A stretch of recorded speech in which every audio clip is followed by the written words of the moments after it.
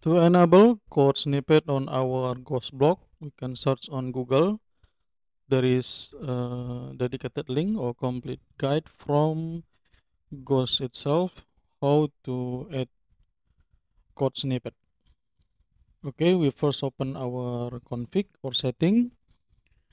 And this is the configuration tutorial about code snippet on our Ghost block. We use Prism syntax highlighting uh, to use uh, the code block is with uh, three backticks on our code and follow with language type. We add Prism via code injection to our site header. We just copy the style and enter to our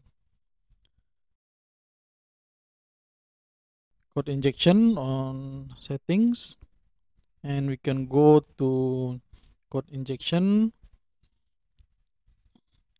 We click open. And on site header we just add the CSS and the JavaScript on our footer on site footer. Okay uh, just hit save.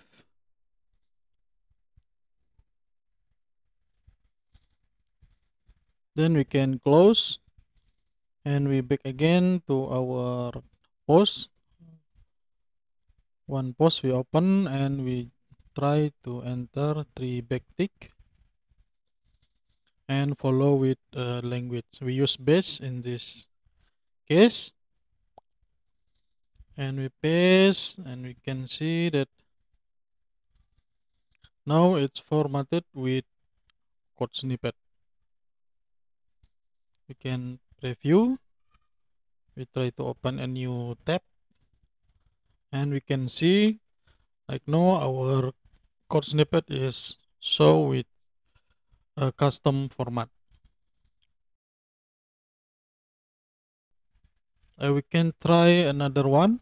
We just hit enter and three backtick follow with language bash and paste the code. Okay that's it